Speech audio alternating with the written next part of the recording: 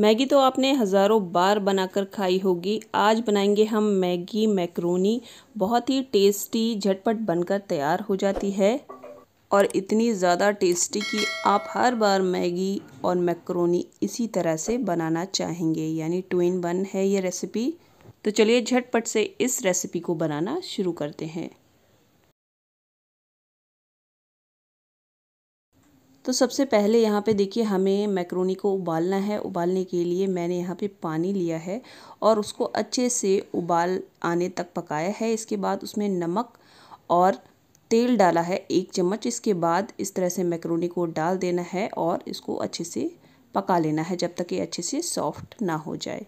या फिर जैसे भी आप मैगी को उबालते हो, उस हिसाब से आप मैगी को उबाल सकते हैं। और अब हमने ली है यहाँ पे कढ़ाई और उसमें हम डालेंगे यहाँ सरसों का तेल। आप चाहें तो रिफाइंड ऑयल भी डाल सकते हैं और इसको डालने के बाद अच्छे से इसको गर्म कर लेना है। तेल के अच्छे से गर्म हो जाने के बाद इसमें हम डालेंगे एक चम्मच भरकर मस्टर्ड सीड्स यानी काली सरसों के बीज। इसको अच्छे से हमें चटक जाने देना है। इसके अच्छे से चटक जाने के बाद यहाँ पे मैंने लिया है आधा चम्मच के करीब सफ़ेद तिल। ये ऑप्शनल है, अगर आप डालना चाहें तो डाल सकते हैं, वरना आप स्किप भी कर सकते हैं। इसके अच्छे से चटक जाने के बाद हम इसके अंदर डालने वाले हैं यहाँ पे हरी मिर्ची, एक हरी मिर्ची ली है, जिसको इस तरह से टुकड़ों में मैंने काट लिया है। आप चाहें तो यहाँ पे लाल मिर्ची का भी यूज़ कर सकते हैं। हरी मिर्ची के अच्छे से तड़कने के बाद हम यहाँ पे डालेंगे एक कटा हुआ प्याज, जिसको इस तरह से स्लाइसेस में मैंने कट कर लिया है और इसको डालने के बाद हमें इसको अच्छे से भून लेना है। ये देखिए, यहाँ पे प्याज हमारा अच्छे से भुन गया है। अब इसमें हम इसमें डालेंगे कटा हुआ टमाटर और आप चाहें तो इसमें अपनी पसंद की कोई भी सब्ज़ी आप इसके अंदर डाल सकते हैं, जैसे बीन्स शिमला मिर्च, मटर, मशरूम, पनीर। जो जो सब्ज़ियाँ आपको या आपके फैमिली मेंबर्स को खानी पसंद हो, इसको अच्छे से हम एक बार भून लेते हैं टमाटर को। बहुत ज़्यादा हम इसे सॉफ्ट नहीं करेंगे, बस हल्का सा इसको भूनना है और इसको अच्छे से भूनने के बाद इसके अंदर हम ऐड करेंगे स्वाद अनुसार नमक। तो ध्यान रहे, थोड़ा सा नमक हमें डालना है, बहुत ज़्यादा नमक नहीं डालना है, क्योंकि जो मैगी के अंदर पैकेट निकलेगा, उसके अंदर भी नमक रहता है। अच्छे से एक बार मिक्स कर लेंगे। अच्छे से मिक्स करने के बाद देखिए यहाँ पे थोड़ा सा हम डालेंगे कलर के लिए हल्दी पाउडर और अच्छे से एक बार फिर से इसको मिला लेंगे और अब हम इसके अंदर डालेंगे पानी।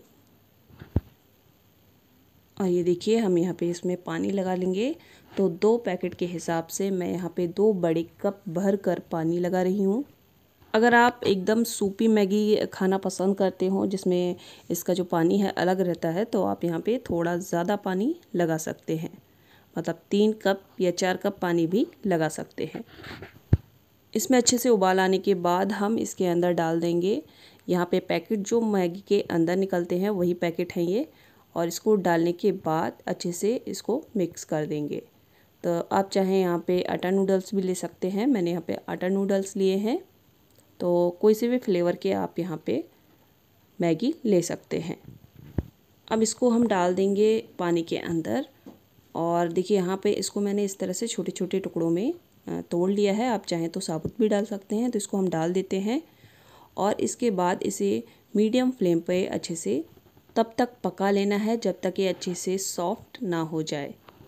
और यहाँ पे मैंने उबली हुई जो हमारी मैक्रोनी है, इसको इस तरह से प्लेट में निकाल दिया है और इसके बाद हम इसको डालने वाले हैं इस मैगी के अंदर। तो ये देखिए, मैगी हमारी अच्छे से गल गई है और हम मैक्रोनी को इसके अंदर डाल देंगे और अच्छे से मिक्स कर देंगे। मैक्रोनी डालने के बाद इसको एक दो मिनट के लिए अच्छे से फिर से पका लेंगे। इससे ये जो हमारा मैगी का मसाला है, इस मैक्रोनी के अंदर अच्छे से भर जाएगा और ये खाने में बिल्कुल मैगी जैसे हो जाएगी। और अब लास्ट में हम इसके अंदर डाल देंगे कटा हुआ हरा धनिया। हरा धनिया डालने के बाद अच्छे से एक बार फिर से हम इसको चला देंगे, जिससे जो धनिया है अच्छे से इसके अंदर मिक्स हो जाए। और ये लीजिए, एकदम हमारी गर्मा गर्म मैगी मैक्रोनी बन के तैयार है। इसको हम निकाल लेते हैं किसी प्लेट के अंदर। तो आप भी घर पर ज़रूर बनाइए ये टेस्टी मैगी मैक्रोनी। आपको मैक्रोनी खाना है तो मैक्रोनी खाइए, मैगी खाना है तो मैगी खाइए। यानी टू इन वन रेसिपी आपके लिए आज यहाँ पे मैं लेके आई हूँ। बहुत ही टेस्टी लगता है ये खाने में, एक बार ज़रूर ट्राई करें। आई होप आज की ये रेसिपी आपको बहुत पसंद आई होगी। पसंद आई हो तो hit the like button and इसे शेयर कीजिए सोशल साइट पर, फेसबुक पर, ट्विटर पर व्हाट्सअप पर, जहाँ भी आप लोगों से मिलते जुलते हो।